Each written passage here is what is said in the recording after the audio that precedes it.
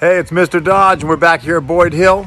We're to do the Eastern Lubber Grasshopper. Sounds kind of boring, but uh, take a look at these clips.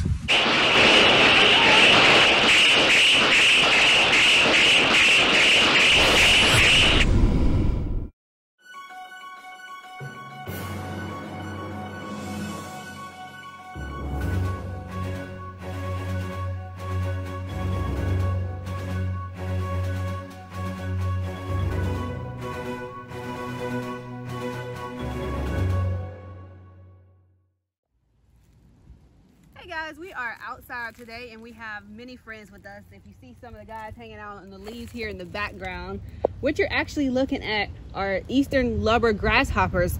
Um, I also have two on this leaf here in my hand just to show you the striking difference between a nymph and adult stage of this. You can see the black one is the nymph and the adult is that brightly colored yellow guy um, who's obviously bigger. But we're gonna get to all that. First, I wanna start off with um, if you live in Florida, you have seen these guys before. Um, they're considered a pest down here. They're actually native to the southeastern parts of the United States. So you'll see them um, Louisiana, Georgia, Florida, all of those different states. So they're definitely native, but a lot of people aren't a big fan of them. And that's because these guys have a great appetite. Um, so generally they only come out so they only come out once a year so they only get one generation a year so generally you'll start seeing these guys um, from march to throughout the summer. Um, so they'll start emerging from march to june depending on what region of the united states you're in. Um, so when they first emerge they'll be black like this nymph here that we have. Obviously they're going to start out a lot smaller from the egg. Um, and, and the thing with the eggs is they are actually underground. So the, the females have an ovipositor similar to a cricket and so she'll lay her eggs underground at about three to five centimeters in depth.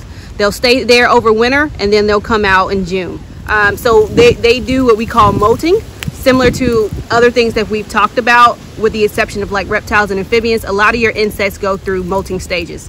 Um, and then eventually they'll get to their final instar um, where they can reproduce and they have their wings at the ready.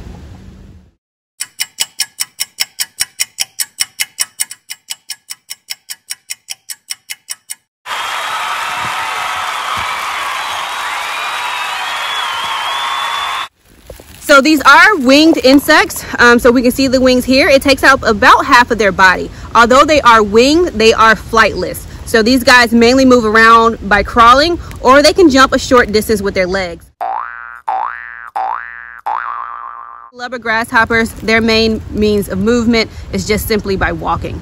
Um, they're actually called lubber because they're kind of considered lazy and clumsy. So lubber comes from the old English word lobre, which means lazy or clumsy. Uh,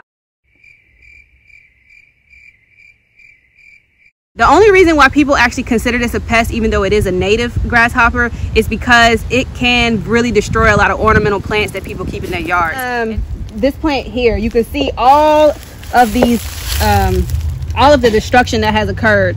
And if you have like one or two of these guys, it's not going to be a big problem. But the issue is when they're in the nymph stage, they, they tend to hang out in groups. So you're gonna have a whole lot of them um, because the females lay so many eggs and they generally lay them in the same area. When they first emerge, you're gonna have a ton of the nymphs. Um, and so all together, they can be very destructive. Now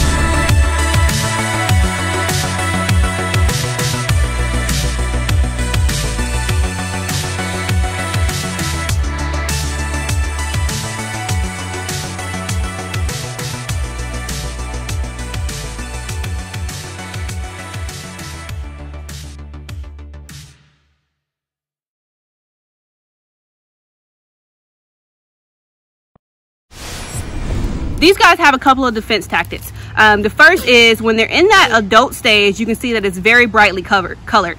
Now these guys aren't always uh, this yellow. They come in different kind of variations. Um, some of the adult lubber grasshoppers are actually still darker colored like the nymph.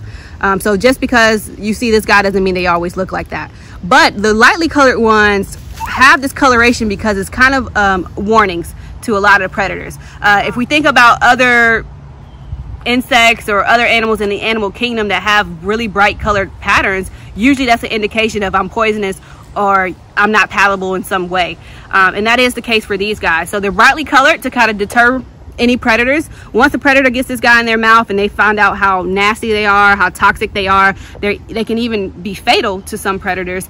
They know not to touch that that thing again. Although there are a few things that will prey on the lubber grasshopper, the loggerhead shrike is a bird of a bird had, that has learned how to eat these guys. Um, so what the loggerhead shrike does is it will impale the loggerhead in some way, maybe on a barbed wire fence or, or on something like that. so the loggerhead shrike will impale the lubber grasshopper on something like a barbed wire fence and, and allow it to decay. And as it does kind of break down, those toxins break down as well. And then the shrike will come back and then it will eat the grasshopper because now it's no longer affected by the toxins. Um, so it's key to note that these guys are considered poisonous and not venomous. So as we discussed in the previous video, but just as a refresher, um, venomous is something that if something is venomous to you, it, it has to be injected into your body.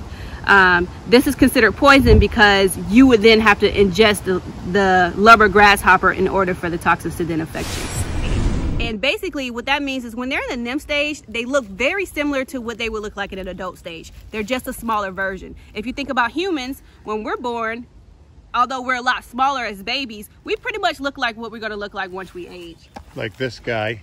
Oh, yes. and he looks like me. Yeah, and so so a nymph going through different uh, instars or different stages in their life is similar to how we call uh, babies babies, toddlers, and teenagers. So